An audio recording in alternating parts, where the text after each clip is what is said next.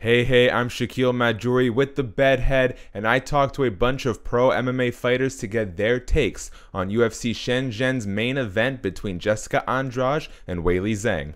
Enjoy.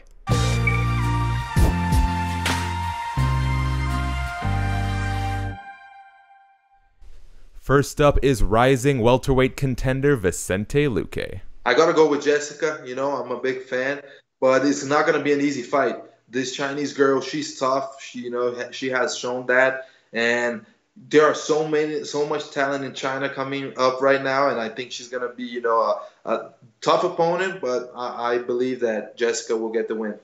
Next, we have the ultra tough and durable Felicia Spencer. Um, I'm gonna go with Andrade on that one. She's kind of a powerhouse lately, but you know, it's really cool that she, that um, you know Rose went to Brazil and then now she's going to China to to take on a challenger. It's kind of cool little storyline there. Um, but who knows what could happen in any a fight's a fight. Introducing featherweight juggernaut Josh Emmett. Yeah, I'm going with uh, Jessica Andrade. You know, she's a she's a powerhouse. You know, and uh, yeah, I, I think she's just going to go out there. She's too strong. She's too physical. She's going to pressure, look to knock her out, hit her with big shots and big slams. But yeah, I'm going with her. 50 grand richer, it's Khama Worthy. Uh, I don't think Brady's ready for Andrade. I think Andrade wins. Scott, hot sauce Holtzman. Uh, Andrade in that.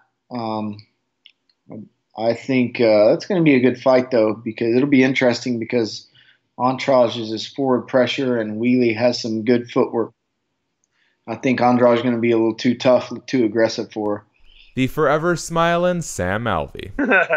uh, Weili Zhang, I, I, love her name. It's a fantastic name. So I would like to see her win so we can just keep saying her name a little more.